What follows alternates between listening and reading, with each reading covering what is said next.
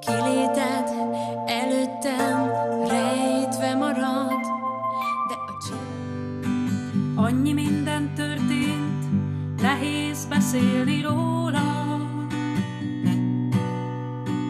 Olyan ez a világ, mintha kicserélték volna. A legnagyobb karácsonyi klasszikusok, népdalok és saját szerzemények egyaránt színesítették a karácsonyi csodaváró zenei vetélkedőre benevezett produkciók sokaságát.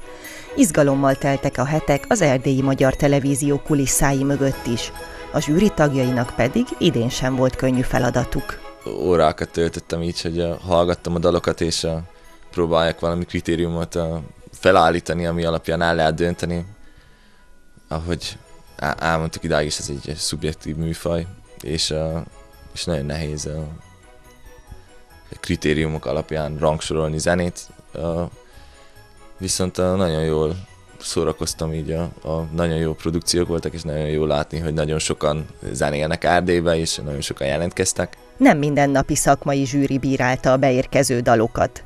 Az idei csodaváró vetélkedőnkre beküldött dalokat a Csajot zenekar, a The Carbon Fools frontembere Fóris Ferenci Gábor és a 2016-os Star Academy győztese Szőcs Renáta osztályozta. Mindannyian agyaltunk azon, hogy kik is lehetnének a megfelelő emberek, akik majd eldöntik, hogy melyik produkció kerüljön be a műsorba. Fő szempont volt az, hogy több zenei területet is érintsünk a meghívottaink által formáció szempontjából is, tehát hogy együttesek is vegyenek részt a, úgymond a zsűrizésben, női előadó is legyen mindenképp, illetve hát akinek szóló karrierje van, de mondjuk a, a férfi nemet képviselő ő is jó lett volna, ha megjelenik. A karácsonyi csodaváró nem csak nekünk fontos.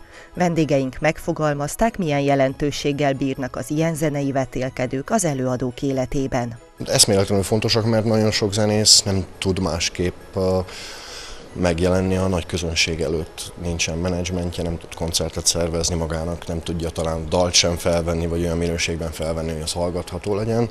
És akkor ezek a versenyek ilyen kis lépcsők, meg ugródeszkák lehetnek olyannak, aki, aki tényleg ügyes és megérdemli, és szereti is a közönség, mert hát itt erről is szól nem csak az zsűrinek a szakmai véleménye, az, ki az, aki szaki, és ki az, aki megérdemli, hanem ki az, akit a, a közönség is szeret, és valahogy ez a zenében ez mind a kettő elég fontos. Szerintem zenészként nagyon fontos az, hogy meg, meg ugye énekesként is nagyon fontos, hogy az ember uh, megmér, megmérettesse a tudását, és több helyzetben kipróbálja magát, mert hogy uh, ez valahol uh, ad egy karaktert, ami kiform majd idővel, és segíti az utadat, hogy ugye mégis, amikor oda kerülsz, hogy már esetleg van egy albumod, vagy esetleg van egy, van egy olyan ki kiinduló pontod, amit el tudsz képzelni magadnak, mint zenész, mint énekes, akkor megalapozza, hogy igen, ezek onnan jöttek, hogy én voltam ezen a versenyen, azon a versenyen, és akkor ott mindig volt egy kis dolog, amit ugye magammal vittem tovább, és tudtam, hogy én hova szeretnék eljutni. December 25-én este 8 órától kiderül majd, melyik produkciók győzték meg leginkább a zsűri tagjait.